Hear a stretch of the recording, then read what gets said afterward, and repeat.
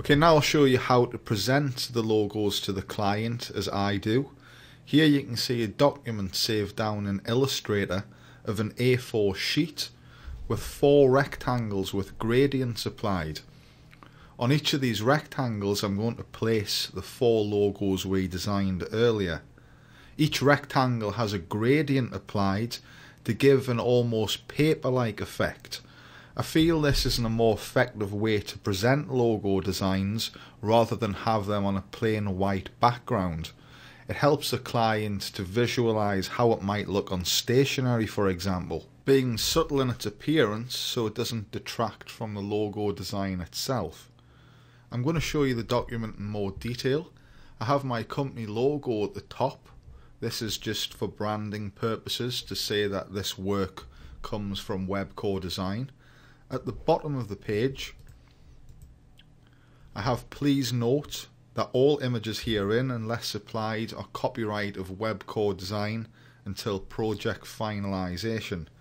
This just informs the client that the work isn't theirs until the project's been finalized, after which time the copyright is granted. So we own all images on this page until the client agrees upon one of the final designs. In the layers panel you'll see that we'll have all elements of this document locked down so that things don't move around as we're placing the logo designs on top. Now there's several ways we could present logos to the client.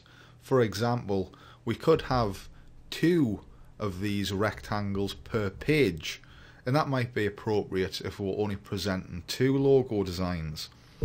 If we're presenting a wide series of logo designs we could do the following. Clicking on the artboard panel. At the bottom we click new artboard. Now this creates another artboard which after unlocking these layers we could highlight and replicate across holding alt shift and we have two copies so this would be appropriate obviously if we wanted to forward eight logos to the client. For now we concentrate on the artboard to the left so I want to go to the artboards panel, click artboard 2 and click the trash can at the bottom right hand corner which is delete artboard. Delete those elements and now we need to place our logos on top of these rectangles in this document. So you go ahead and open all of your logo files up and you'd go in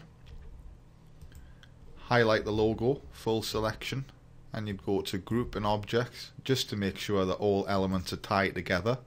Then edit and copy. I like the control and V to paste in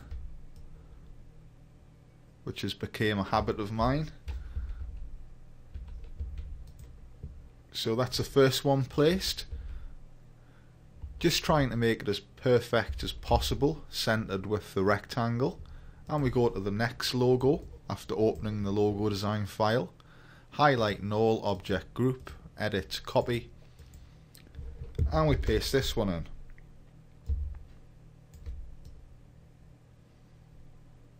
And we place that as centralized as possible.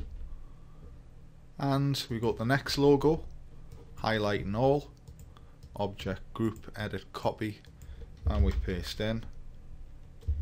To control and V shortcut again. Alternatively we could have went to edit and paste. And we perfect this so that it's centralized. And we open our last logo design file. Highlight all so that all elements are selected. Object group edit copy and then we paste this final logo in. And we resize and centralize. Do some final adjustments to ensure that the page as a whole looks correct and looks presentable